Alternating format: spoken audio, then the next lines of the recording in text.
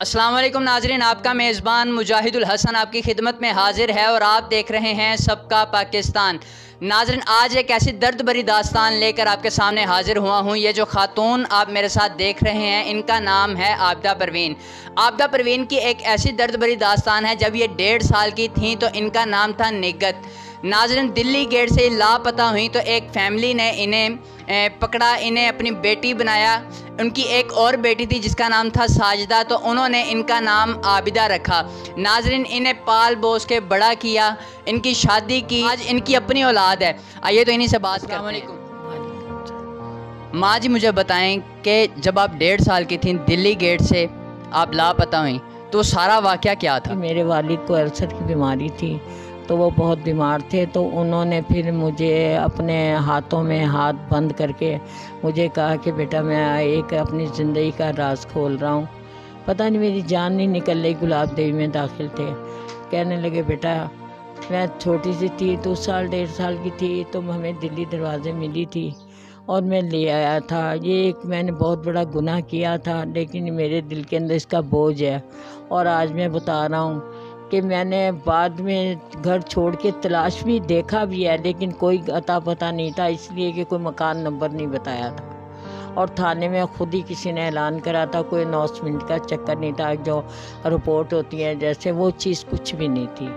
तो उसके बाद जब उन्होंने सन अस्सी में बताया तो फिर मेरे शोहर ने बड़ा एक एक दरवाज़ा खड़का के पूछा कोई पता नहीं लगा कोई पता नहीं लगा बिल्कुल। उसके बाद बस खामोश हो के सन अस्सी में आपकी उम्र कितनी थी? उम्र मेरी थी सोलह सोलह सत्रह साल शादी हो चुकी थी। तो जब आपकी शादी हो चुकी थी तो उस वक्त आपके वाले साहब ने आपको बताया कि हमें आप ऐसे मिली? हाँ शादी हो चुकी थी दो तीन साल हो गए थे लेकिन वो बीमार बहुत थे। आपके वाले साहब का क्या नाम था? खुर्शीद अहमद। खुर्शीद अहमद साहब के कितने बच्चे थे? एक बेटी। एक बेटी उसका नाम क्या था? साजिदा उनका नाम साजदा था तो उन्होंने आपका नाम आबिदा रखा। आबिदा रख दिया था। तो उसके बाद क्या हुआ?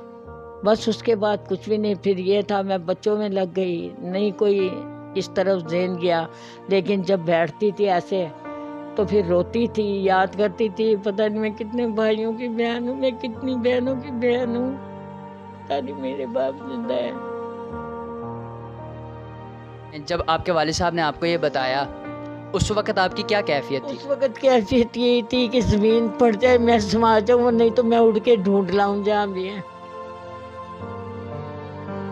लेकिन कोई अता पता नहीं था। बड़ा तलाश किया मेरे शोर ने। लेकिन कोई चक्कर नहीं था ढूँढने का। सन उनासी में आपकी शादी हुई तो आपके कितने बच्चे हैं? तो वो बच्चे क्या करते हैं? चार बेटे हैं चार बेटियाँ बेटियाँ मैंने तेरह तेरह साल की सबकी शादी कर दी। बेटे भी चौदह चौदह साल की एक बेटा मेरे पास। है आपका बेटा एक आपके साथ रहता है उसकी शादी नहीं अभी तक आपने की? अली की नहीं की। उसकी शादी अभी तक क्यों नहीं की? इसलिए नहीं की कि अगर उसकी कर दूँगी दूसरे करके चले गए अपनी बीवी लेके ये कर दूँगी ये भी चला जाएगा मैं कहाँ जाऊँगी? मेरा तो कोई आसरा ही नहीं है। ना मुझे कोई रखने वाला है। कोई रिश्तेदार अज़ीज़ नहीं है कि जो कोई मुझे रख के रोटी देगा, मैं कहाँ जाऊँगी? मैं इसलिए बस बैठी हुई उसकी खिदमत कर रही हूँ, रोटी खा रही हूँ। बेटियाँ तो अपने घरों में हैं जैसी तैसी भी हैं, अल्लाह का शुक्र है, अपने घर खा के सोती हैं, अल्लाह लाख लाख शुक्र है। बेटों का ये है, एक बेटा जो मेरा तरह वो दूसरी लाइन में पड़ा हुआ है, वो खुद मजबूर हो गया चार पाई पे लगा हुआ, खून की उल्टियाँ कर रहा है। और जो एक बच्चा है, वो बेचारे वो दो दो तीन तीन हज़ार भेज देते हैं मुझे। और ये जो रहता है ये भी सौ डेढ़ सौ दो सौ रुपये दे देता है मुझे। किराया देना होता है हमने। छः हज़ार किराया देना बिल देना हमने रोटी भी खानी कोई आया गया भी है। अच्छा आप जिस घर में रह रही हैं वो किराए का घर है? ये किराए की बैठक है। अच्छा, इस बैठक में आप कितना किराया देती हैं? छः हज़ार। छः हज़ार किराया आपका एक बेटा है। बिजली के बिल डाल के मैं सात साढ़े सात हज़ार में पड़ती है।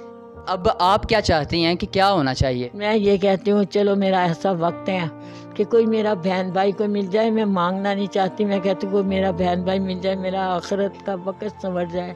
कोई मुझे संभाल ले कोई मेरा बहन भाई मेरे सिर पे हाथ रखे बस मुझे मिल जाए कोई बस ये चाहती हूँ। हुकूमत वक्त से क्या गुजारिश करना चाहती हैं? क्या अपील करना चाहती हैं? हुकूमत से यही कहना चाहती हूँ कि उनकी मेहरबानी है। मैं गरीब औरत हूँ बैठक में रह रही हूँ। कि मेरी कोई मदद करी जाए, मेरा मकान नंबर ले लें, मेरी कोई मदद की जाए, मैं बिल्कुल बेआस, बेमुराद हूँ दुनिया में, बस और कुछ भी नहीं कह सकती। जी नाजरन, आपने एक दर्द भरी दास्तान सुनी, इनकी दास्तान बिल्कुल मुख्तलिफ़ है। इनकी उम्र 60 साल है, जब ये डेढ़ साल की थी तो ये दिल्ली गेट से लापता हुई। अगर आप इनकी कोई मदद करना चाहते हैं तो इनका नंबर स्क्रीन पर चल रहा है, आप देख सकते हैं। आप इस नंबर पे इनके साथ कॉन्टैक्ट कर सकते हैं। इसी के साथ अपने मेज़बान मुजाहिदुल हसन को दीजिए इजाज़त और देखते रहिए सबका पाकिस्तान अल्लाह निगेबान